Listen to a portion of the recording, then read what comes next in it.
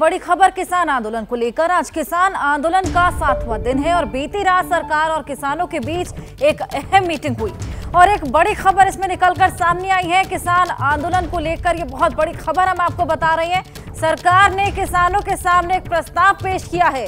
MSP पर खरीद के कॉन्ट्रैक्ट की यहाँ पर बात हुई है। चार फ़सलों की खरीद पर करार की बात हुई है। चंडीगढ़ में चौथे बैठक में प्रस्ताव भी रखा गया।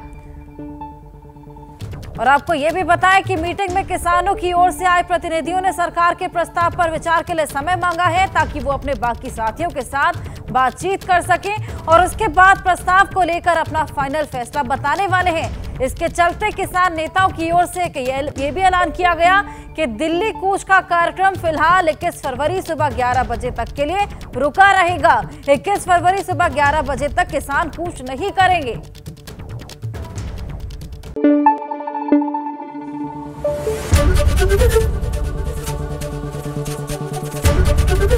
एबीपी न्यूज़ आपको रखे आगे।